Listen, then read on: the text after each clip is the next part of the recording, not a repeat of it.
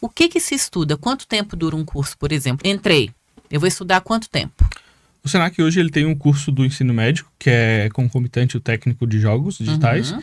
É, são três anos, né? Então ele vai fazer, o aluno vai fazer o ensino médio junto com o curso de jogos técnicos. Olha então ele já massa! sai com a formação técnica em jogos digitais. Uhum. E dentro do curso ele vai aprender um pouco de todas as áreas para ver, para iniciar é, o conhecimento dentro, dentro de cada área, né? Uhum. Então ele vai aprender um pouco de pintura digital, ele vai aprender um pouco de modelagem, animação, programação, som, um pouco de cada área para ele saber por qual caminho ele vai querer trilhar, pelo menos. É, no processo seletivo, assim, o diploma ajuda no sentido de que ah, num curso técnico ou de graduação, faculdade, né, pós-graduação, é, a pessoa ela recebe outros conteúdos ali que não são necessariamente de jogos, né? Desde Uhum. administração, né, é, conteúdos, é, responsabilidade social e por, por aí vai, né?